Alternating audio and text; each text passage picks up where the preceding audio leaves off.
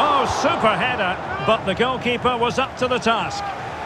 Corner kick forthcoming.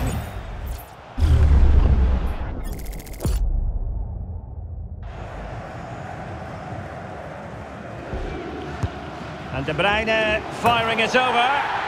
And a goal! 1-0, and what a fast start they've made to this game.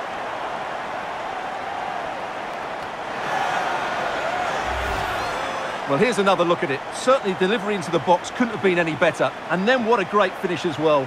Good connection with the ball, leaving the keeper with little chance. It's a great goal.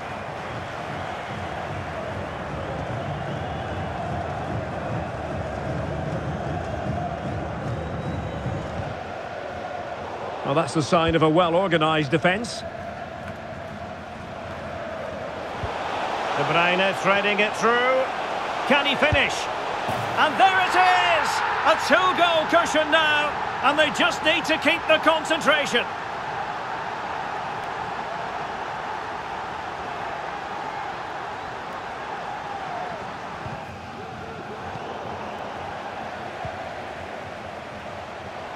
Oh, great attacking play. It's got to be! And a goal! He's put it away! A celebratory moment!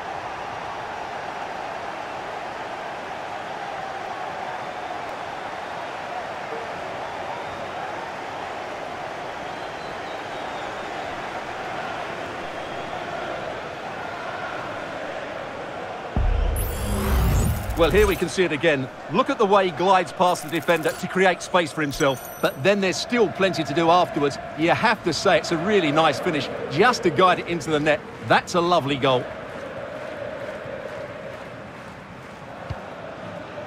Denis Drăguș. Coman.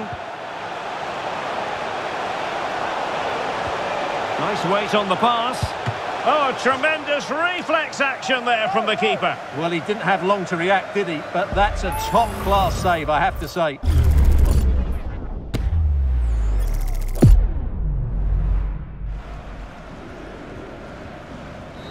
And there it is. That will do nicely for Belgium. They prevailed in this game. And Stuart, as always, keen to get your analysis. Well, it was a very assured performance, wasn't it? I was particularly impressed with their play going forward. Really lively, almost cutting through at will at times.